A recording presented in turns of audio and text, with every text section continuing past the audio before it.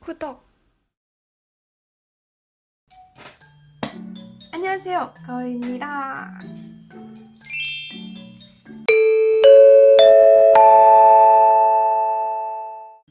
자, えっと今日は一番リクエストが多かった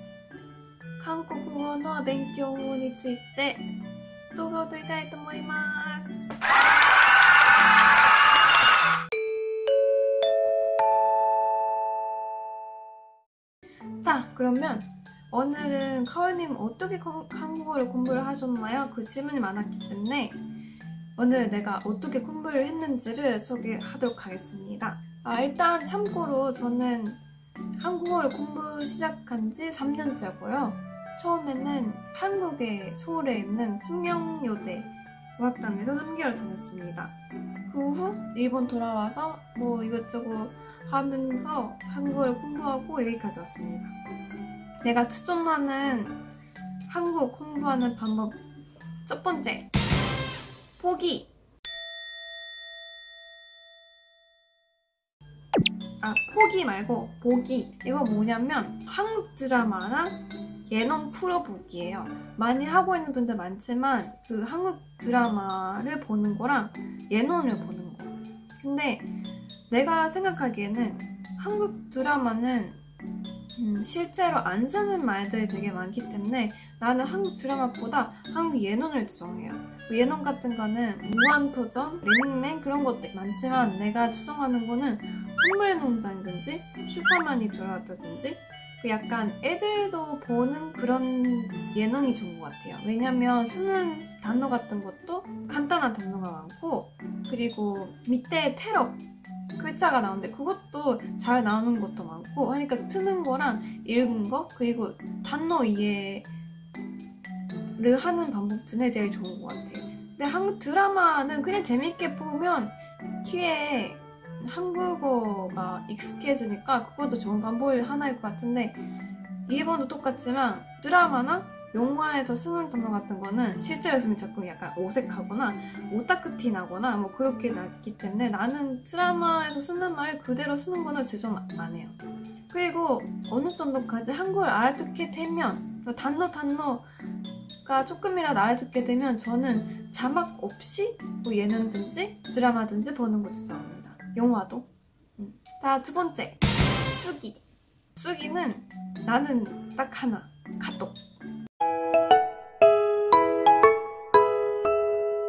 카톡을 한국 사람이란 해야 쓰는 거 잘 되는 것 같아요. 다른 방법 중에 하나 유명한 건 읽기 쓰기? 나는 읽기는 그냥 학원에 다니던가 아니면 개인 그런 한국어를 배우고 있는 사람은 괜찮은데 나는 좀 읽기는 추천은 못하겠어요. 틀리는지 안 틀리는지 모르는 상태에서 계속 쓰면 틀리는 거 그대로 배우고 가거나 뭐 좀 잘못이 있으면 그것도 그 모르고 가니까 나는 읽기보다 카톡. 자, 여기서부터 진짜 중요해요. 세 번째, 생각하기. 그거 뭐냐면, 아, 내가 혼자 살긴 한데, 고양이도 키우고 있고, 나는 굉장히 혼자말이 많은 사람이에요. 고양이한테 말을 걸을 때, 그리고 혼자말 할 때 다 한국말로 해요. 그리고 생각할 때도 다 한국말로 생각해요. 이제야 익숙해졌지만, 옛날에 그걸 시작했을 때는 그냥 혼자말도 일본말로 했는데 그걸 나중에 그 일본말로 혼자말을 했던 후 머릿속에서 아 이거 일본 한국말이었으면 뭐라고 하는 건가 하고 생각해요. 밖에 나와서 아츠 뭐 사물 이렇게 할 때 아츠 말해볼 때 아츠가 한국말이었으면 아 더워 이거구나 이렇게 생각하고 아 사물 할 때 머릿속에서 아 한국말이었으면 추워구나 뭐 이렇게 생각하기 시작해 이렇게 하기 시작하면 자연스럽게 혼자말이 한국말로 나와요. 그리고 추가로 쇼핑하러 나가거나 했을 때 직원한테 직원 직원 분한테 이거 다른 사이즈 있나요? 뭐 이거 다른 색깔 있나요? 이거 물어볼 때 말할 때는 호카노 일을 아리마스까? 호카노 사이즈 아리마스까? 이렇게 물어보는데 머릿속에서는 이거 한국어였으면 어떻게 물어봐야 될까? 이거를 한 개 한 개씩 생각해요. 여기는 일본이니까 한국말 당연히 쓸 수는 없고 생각만 해요. 자, 네 번째. 이거 되게 중요해요. 이거는 내가 방송에서도 자주, 자꾸 말하지만 제일 중요한 거는 대화하기. 아, 제가 한국에 있었을 때 처음에 인사밖에 못했어요. 진짜 그 한글을 읽을 수 있는 정도? 근데 그때 제가 친한 언니 부부가 있었는데 그 언니가 맨날 나랑 만나서 밥을 먹자 그랬어요. 근데 언니는 일본어를 못하니까 내가 그날 학원에서 아, 오학당에서 배우는 단어든지 문법든지 이걸 쓰면서 언니한테 얘기를 하고 모르면 인터넷으로 찾아보고 하고 어떻게든 언니랑 더 얘기를 하고 싶어서 나는 더 금방 배우는 것 같아요. 대화도 일본말을 못한 한국 사람이랑 대화를 많이 해야 금방 느는 것 같아요. 일단은 저는 대화가 제일 중요하다고 생각해요. 한국말 배워도 말을 잘 못하는 사람들이 틀리면, 신뢰되면, 안 통하면, 발음이 이상하면 뭐 이런 고천을 많이 가지고 있어요. 그런 생각은 하지도 마요.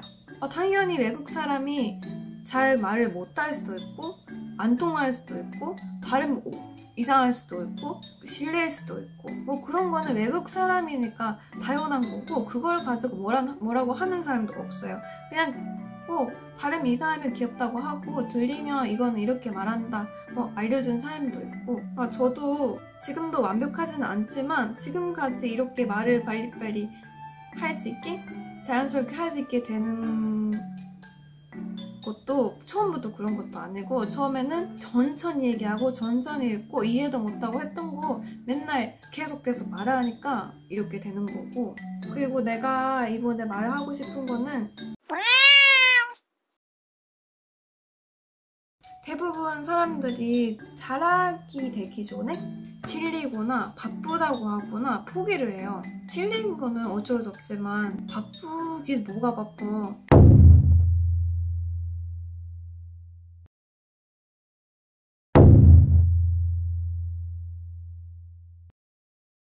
하고 싶은 거면 난 해야지라고 생각해요. 바쁘다고 시간이 없다고 그런 이유를 가지고 안 하는 사람들이 진심으로 하고 싶지가 않은 거예요. 뭐든지 뭐든지 좋아하면 잘하고 싶으면 쿡하지 해주세요. 어, 다른 사람 보고 뭐 애는 한국 친구 많잖아. 애는 한국에 살고 있잖아. 애는 학원 다니잖아. 나는 시간이 없잖아. 나는 한국 친구 없잖아. 그렇게 부러워하지 말고 질투하지 말고 그런 시간에 맨날 말하고 맨날 생각하고 그렇게 공부를 하세요. 그렇게 질투하고 부러워하는 만큼 공부하면 돼요. 세상에 핑계는 없습니다.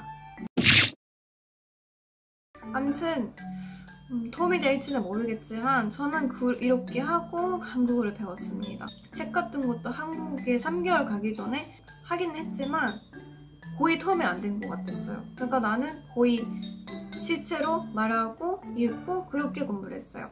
여러분 핑계 만들지 말고 한국 공부를 끝까지 포기하고 해줬으면 좋겠습니다. 내가 그런 말 하는 자격이 있나 없나 싶다.